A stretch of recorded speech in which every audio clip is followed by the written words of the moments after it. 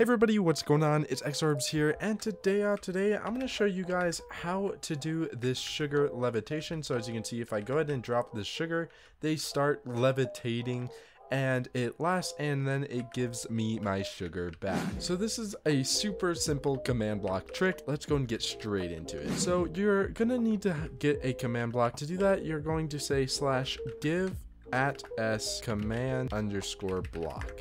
And that should give you one command. Now you're going to go and find a place to place your command blocks. And we are going to place one and then we are going to place one across from here.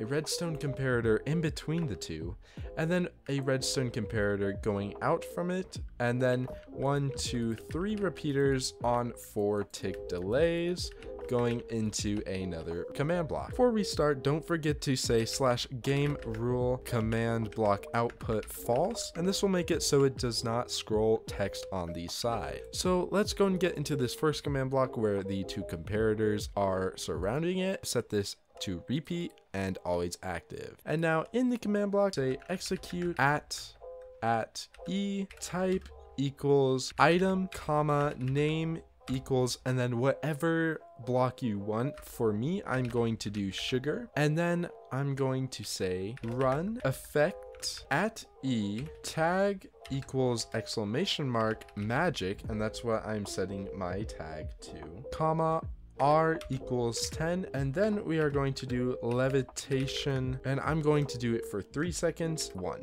And so that is done for that command block. Now in this second command block to the right without the repeaters and just the comparator in here we are going to have it on impulse and needs redstone. And in here we are going to say kill at e type equals sugar. Just like that and go and close that. And in this last command block, we are going to have it be an impulse, unconditional, and needs redstone. And in here, we are going to say give at p tag equals magic, and then we are going to say sugar or the item that you chose and one. And now you need to do one last thing and that is tag yourself. So you're in the chat, you're going to say slash tag at p add and then magic. And that should um, add the magic tag to your name or whatever tag you want. Just make sure it is in the same in all of these command blocks.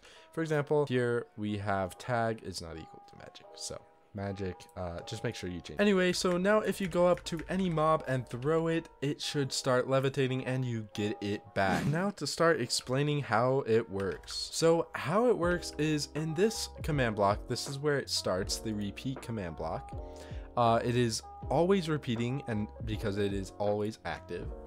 And it is executing at an entity which the type is an item and the name is sugar. So it's executing at the location of the sugar that is dropped. And then it is going to run this command which is effect at e which is at entity.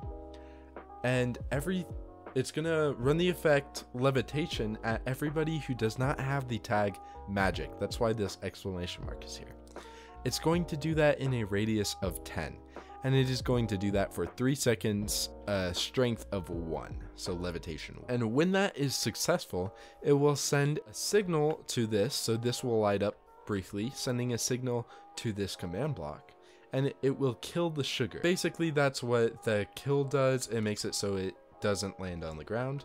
And then what happens here is when this command is successful, it'll send signal to this comparator all the way through these repeaters to this final command block, which is basically like a cooldown.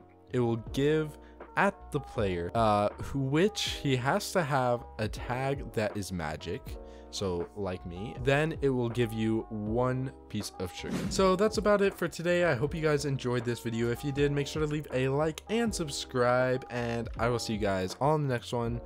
Bye!